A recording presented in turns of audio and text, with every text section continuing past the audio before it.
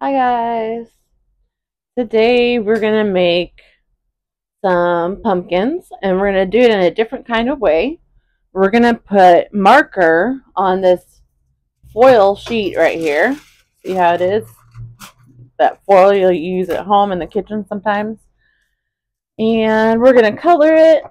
We can color it any way we want to. You can make it rainbow, you can make it orange, you can make it red whatever colors you want to put in there. Okay? I'm going to pick a bunch of different colors. And I'm just going to make scribbles all over it. So now you get to scribble. It's fun. Okay, scribble, scribble, scribble. Do some other colors, maybe some green. Maybe some dark green.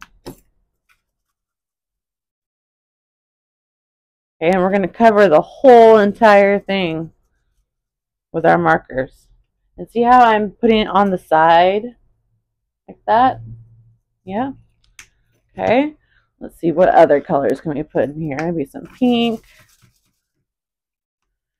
And let's see, some blue. Ooh, that blue is bright. Okay, maybe some turquoise.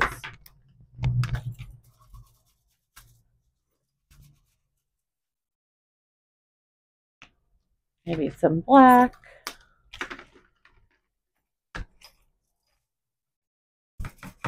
No, the black doesn't really show up.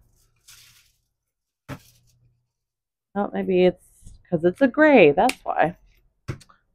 We'll have to get a black marker to put in there. Let's see, let's do some more purple. Okay, make sure you cover the whole page.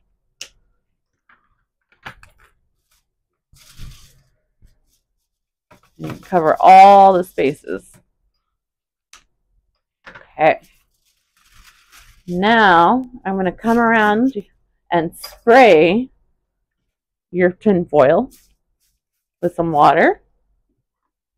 And then you're going to take your pumpkin paper, okay, and go like this. And then we're going to press it down and smooth it out.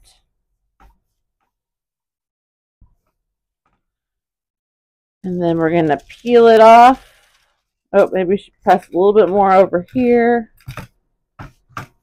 Maybe over here too. And now peel it apart. And look what we have. Ooh, beautiful pumpkins. Okay, your turn. You try it.